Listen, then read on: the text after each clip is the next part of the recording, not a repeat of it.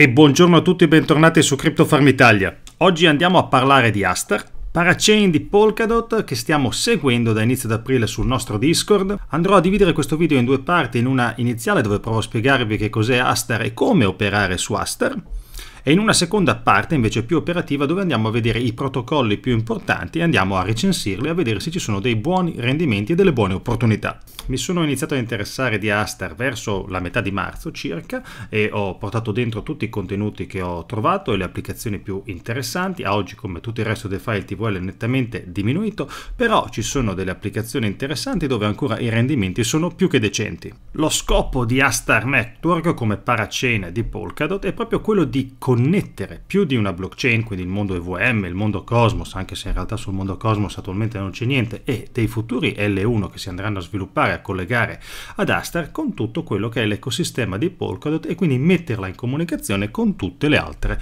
parachain. Infatti, come sapete, nell'ecosistema di Polkadot vi sono due grandi categorie, quelle delle relay chain e quelle delle parachain. Per quanto riguarda le relay chain, si occupa del consenso, della validazione delle transazioni, si occupa dell'interoperabilità fra le varie eh, parachain le parachain invece sono blockchain proprietarie che hanno vinto delle aste su Polkadot e in questo caso hanno una propria logica operativa dei propri smart contract e delle proprie applicazioni con i propri team di sviluppo. Asta è posizionata quindi in mezzo fra l'ecosistema di Polkadot e l'ecosistema di altri L1, è una chain scalabile che adotta una tecnologia su layer 2 che dopo andiamo a vedere e che ha la possibilità di comunicare con tanti altri tipi di blockchain su layer 1. Per interagire con la blockchain di Astar potete utilizzare normalmente due tipi di wallet, fondamentalmente anche uno solo, che sarebbe quello di Metamask. Infatti tutta l'operatività che potete sviluppare sulla blockchain di Astar la fate tranquillamente attraverso Metamask. Come sempre su Chainlist potete scrivere Astar e andare a connettere il wallet con la blockchain. Se invece volete andare a mettere in stake nativi i vostri Astar, vi servirà Polkadot.js che potete scaricarlo come estensione o altrimenti proprio come wallet all'interno del vostro PC ed è molto semplice, lo potete connettere eventualmente anche con Ledger. Vi lascerò tutti i link in descrizione, quindi potete scaricarvi il wallet, potete scaricarvi direttamente l'estensione. Aggiungete per Chrome o per Firefox, fate crea nuovo account, ovviamente se non ce l'avete, vi segnate le parole, ve le tenete come sempre al sicuro e basta, questo è tutto quello che dovete fare. Le transazioni su Astar costano veramente niente, si parla di un millesimo di Astar, e il prezzo di Astar è 0.05 centesimi di dollaro. Quindi con 5 Astar ne avete abbastanza per tutta la vita. Per usare questa blockchain però vi servirà il token di Astar, il metodo più semplice è chiederlo a qualche vostro amico se ne dà uno di questi millesimi e poi dopo ve li scambiate voi con le stable che portate direttamente all'interno della chain, dopo vediamo come, altrimenti potete comprarli sui principali checks come Binance, KuCoin, FTX, GTO, Wobi eccetera eccetera eccetera, Bybit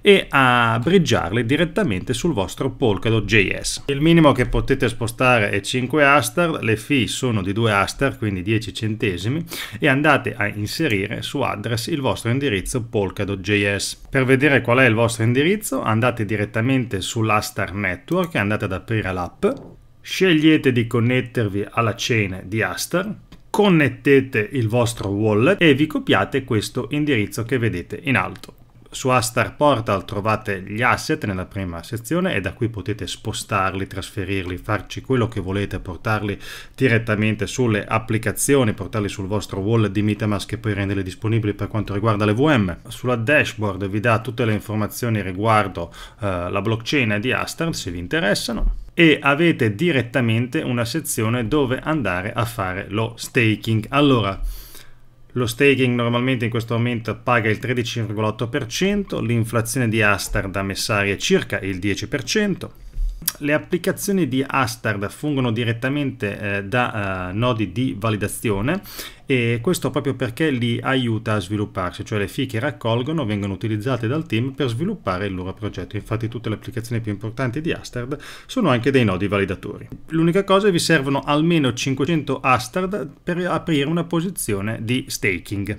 Per trasferire invece gli Astar che vi serviranno come gas fee per quanto riguarda l'EVM, quindi tutta l'operatività in DeFi, è molto semplice, c'è proprio il tastino, fate transfer. Sotto destination address andate a inserire il vostro indirizzo Metamask normalmente EVM della chain Astar. Confermate e vi arriveranno gli Astar in pochissimo tempo. Lo stesso discorso vale per DOT, potete fare esattamente la stessa cosa con DOT e successivamente portare DOT su EVM, sulla blockchain di Astar, per renderlo eh, operativo in DeFi. Abbiamo visto come portare gli asset nativi, DOT e Astar, ora come portare le stablecoin? Ad oggi la soluzione è molto semplice visto che a livello di costo-rendimento è l'unica uh, obiettiva e fattibile che è quella di utilizzare Seller Bridge. Portare da Polygon ad Astar per esempio 5k di dollari vi costerà circa 3 dollari di fee.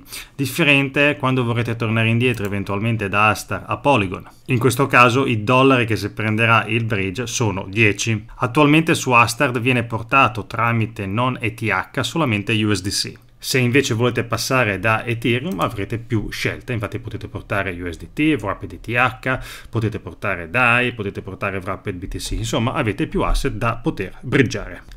Astar si basa su Substrate che è un kit, è un framework che permette agli sviluppatori di costruire più facilmente assemblando proprio la propria blockchain. È un po' come Cosmos che permette e facilita la costruzione di varie chain dalla dubbia utilità perché proprio c'è un framework già preimpostato dove chi eh, riesce a sviluppare è eh, diciamo facilitato a farlo. Due parole in croce su come lavora Astar, lavora attraverso Plasma che è un modello di scalabilità inventato da tale Joseph Fune e Vitalik Buterin, come sempre una frase ad effetto meravigliosa che permette di rendere questa blockchain veloce e molto economica senza sacrificare sicurezza e decentralizzazione, mi raccomando. Tutta questa magia avviene grazie al fatto che vengono eseguite le operazioni come quasi ogni L2 fuori chain e viene riportato solamente la radice nella convalidazione dei blocchi. Un'altra cosa interessante, lavorando con questa Optimistic Virtual Machine per quanto riguarda Astar e Plasma Network, dice che Astar Network non sarà compatibile solamente con le applicazioni che lavorano con Plasma,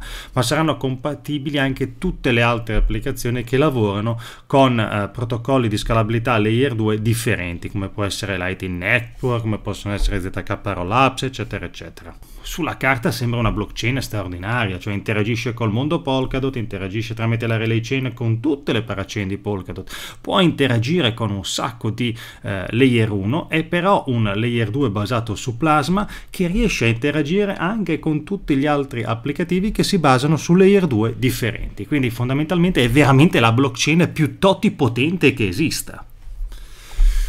Peccato che abbia 80 milioni di TVL. Spero che questa prima parte in caso vi permetterà di approcciarvi, se lo desiderate, al mondo di Astra e avere gli elementi sufficienti per potervici almeno operare all'inizio. Nella seconda parte andremo a vedere tutti i protocolli e quindi la parte proprio che più vi interessa e più mi interessa a me. Io vi ringrazio per aver guardato e vi auguro una buona giornata.